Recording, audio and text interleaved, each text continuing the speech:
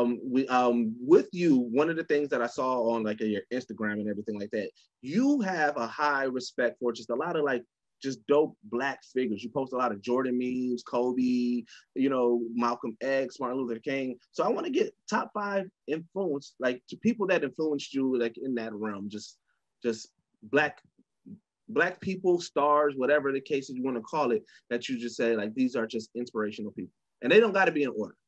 Top, top five, no order, because I can't I can't do that. Uh, Jay Z, uh, President Barack Hussein Obama. Um, Jordan.